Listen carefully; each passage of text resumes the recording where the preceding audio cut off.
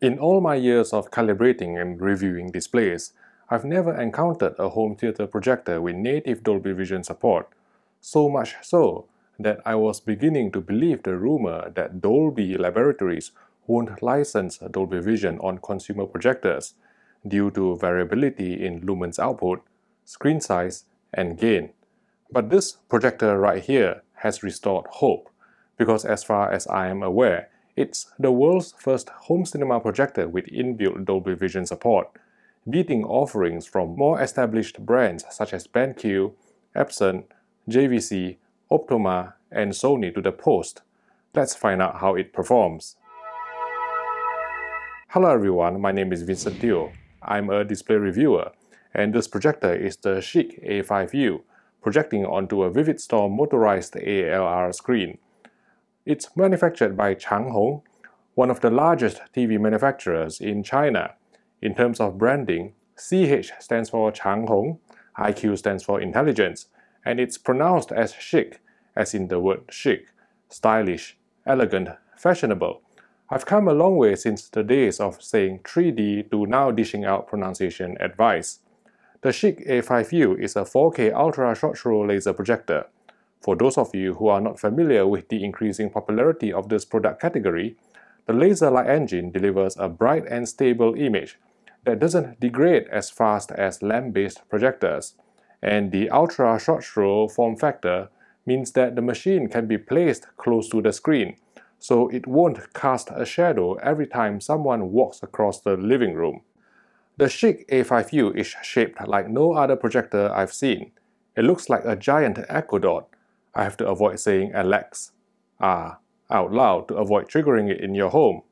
The lens is slightly offset from the center, and since there's no lens shift functionality, it's impossible to place the projector exactly in the middle relative to the screen, if that's the kind of nitty-gritty detail that bothers you.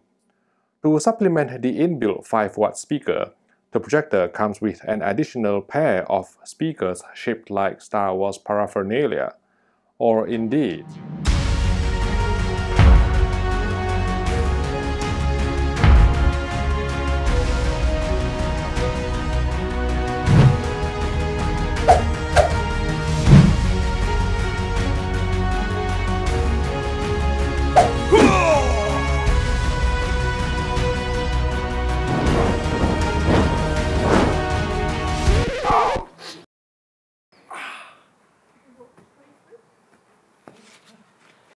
Rated at 20 watts each, these external speakers can go impressively loud with detailed mids and treble, although we did crave for a bit more bass. If you wish, you can put the speakers away altogether and use your own soundbar or home theater system. During use, we found the background fan noise to be somewhere between the quieter Vava projector and the Xiaomi 4K UST projector. The fan operates at a constant speed, and so it's easily masked by a normal sound volume, and at least there's no high-pitched coil whine which plagued many 4K ultra short throw projectors from China. The connections are grouped into two compartments on the projector, including two HDMI 2.0 and two USB ports, and even a VGA input. The ChiQ A5U uses a 0.47-inch DMD chip from Texas Instruments, which achieves 4K resolution via mirror flashing techniques, Thanks to its laser light source and ultra short throw distance, the picture was bright and punchy, surpassing any other lamp-based 4K DLP projector at this price point. The ChiQ A5U offers a number of picture presets, although only one of them, namely My Mode, allows the settings to be adjusted, which are also shared between SDR and HDR modes. Compared with all other Chinese 4K ultra short throw laser projector on the market, the A5U offers a more comprehensive array of calibration controls, but the layout is all over the place and so can be quite confusing. First, under My Mode, you can adjust the color temperature which is a single point RGB balance. According to Changhong, this primarily works at the M-Star chipset level, and so its effect is limited to the My Mode picture preset. In addition, by long pressing the settings button on the remote control. You can summon the color management submenu which allows you to calibrate not only red, green, blue, cyan, magenta, and yellow in terms of hue, saturation, and luminance, but also another separate single-point white balance system. Changhong said this works on the level of the DLP chips, and so will affect all picture modes, thus making it more useful to dial up the original Bluecast in-game and Dolby Vision picture presets which otherwise cannot be adjusted. Outside of these picture settings, there is also a light setting control under the system page, which changes the light output of the projector, so it's best to select the correct option for your needs before starting the calibration. Even with the presence of a color management system or CMS, color accuracy still left a lot to be desired after calibration, which is par for the course for all Chinese 4K ultra short throw laser projector we've reviewed to date.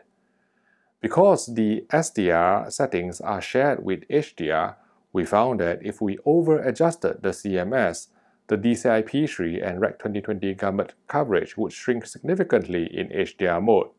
In the end, we decided to only calibrate the single-point white balance, which was sufficient to make colors and skin tones look more natural across all types of content.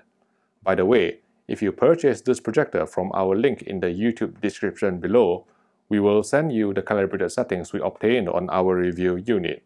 There may be a coupon code to give you some discount too.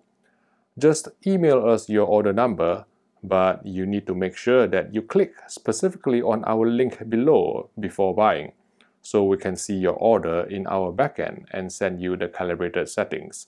Thank you for your understanding. Although a number of Gamma presets are available on the ChiQ A5U, the majority are skewed, with the only linear one tracking closer to 2.2 which is more suitable for viewing in a room with ambient light rather than a dedicated Batcave. Uniformity was supremely clean on our review sample. Our camera managed to show the bottom two corners to be darker but in real life, we absolutely didn't notice it at all. The ChiQ A5U is equipped with motion interpolation technology, again a first among Chinese 4K ultra short throw projectors we've tested so far. From our testing, the interpolation only reduces judder and not motion blur, since engaging MEMC does not increase motion resolution beyond the sample and hold baseline of 300 lines. The internal refresh rate of the projector is still locked at 60 Hz, so without MEMC enabled, all 24 frames per second movies as well as 50 Hz broadcast content we get in the UK and Europe would still exhibit visible judder and the odd frame skipping. But at least on the A5U, you can engage MEMC to smooth out the judder, although even the low setting would introduce unmistakable soap opera effect or SOE. The smoothness of 50Hz programs generally benefit from MEMC too, but you may see interpolation artifacts and frame drops from time to time. And due to the internal refresh rate, MEMC unfortunately won't work for 4K at 50Hz or 60Hz video signal even if it can be selected from the user menu. Doubt many owners will be using a projector to watch standard definition interlaced content but we ran the SMPTE RP133 test card in 576i on the ChiQ A5U anyway, and found upscaling to be acceptable albeit with some flicker in high frequency regions. Unlike other Chinese ALPD projectors, the ChiQ A5U didn't apply undefeatable noise reduction to sub 4K content, so film grain and fine detail was reproduced faithfully. For watching 4K movies, DCI P3 color gamut coverage came in at 86% UV, while Rec 2020 was 67% natively. HDR presentation on home cinema projectors has always been challenging since they cannot reach the peak brightness of direct view displays, but Changhong has done a couple of things right on the ChiQ A5U to improve matters. 1. The projector managed to resolve up to code value 68 on this black clipping HDR10 pattern from diversified video solutions, which is better than 99% of projectors we've seen, and means shadow detail won't be crushed. At the other end of the contrast ratio spectrum, the A5U resolved up to 1500 nits on this white clipping pattern, but more importantly, it's the world's first home theater projector to support the proprietary Dolby Vision dynamic metadata format. We managed to trigger Dolby Vision from a Murideo 6G signal generator, suggesting that the ChiQ A5U is not using the low latency version of Dolby Vision famously found on Sony televisions. When playing Dolby Vision content, users can select between Dolby Vision Bright and Dolby Vision Dark picture modes, with most of the picture settings unavailable, which is why we mentioned earlier in this video to use the white balance controls that will affect all picture presets during calibration. In practice, the Dolby Vision implementation on the ChiQ A5U worked well to preserve significantly more specular highlight detail that would otherwise be blown out in HDR10 on most projectors. For example, in this very tricky scene from the 4K Blu-ray of the Meg, the HDR10 presentation would clip the detail in the clouds and of the cage against the sunlight, but playing the disc in Dolby Vision on the ChiQ A5U would retrieve all these bright highlights. While impressed, we noticed two slight issues with Dolby Vision presentation on the A5U. 1. Sometimes the picture can look too dark in terms of average picture level or APL. Perhaps the correct brightness and color gamut data were not being fed from the projector to the Dolby Vision mapping system. To combat this, we generally prefer to use the Dolby Vision Bright mode on the machine. Also, very rarely we saw a quick white flash with some Dolby Vision and HDR10 content. It's random, so unfortunately we couldn't reproduce or film it. For gaming, input lag measured 48 milliseconds in game mode at 1080p resolution and 1 frame higher at 65 milliseconds with a 4K HDR video signal.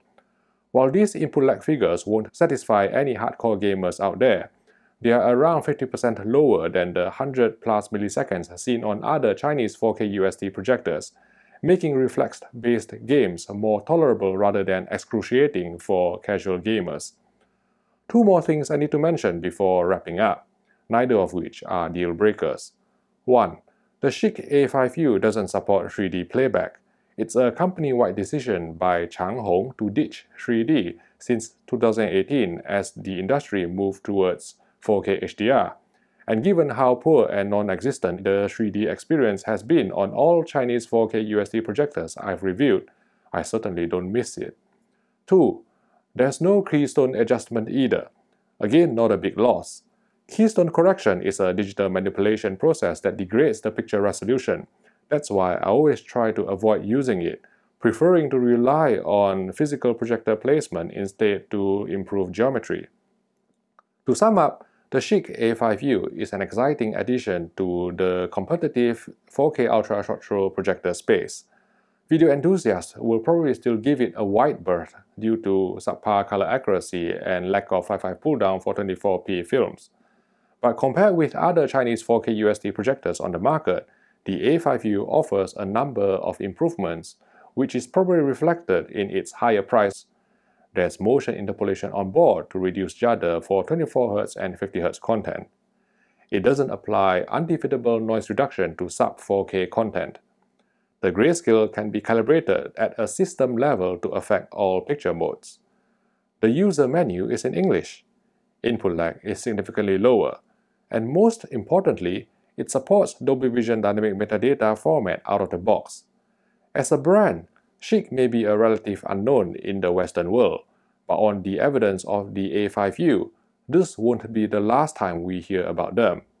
The ChiQ A5U is backed by a two-year manufacturer's warranty, with warehousing, customer service and after-sales support handled from the UK. As mentioned earlier in this video, if you purchase the projector from our link in the YouTube description below, we will send you the calibrated settings for the unit we reviewed it won't be as good as getting your projector calibrated in person, mainly because of screen variability, but it'll at least be better than factory default settings. If you found this video useful, please click the like button and subscribe to the HDTV Test YouTube channel for more videos like this. Thank you for watching and I will see you in the next video.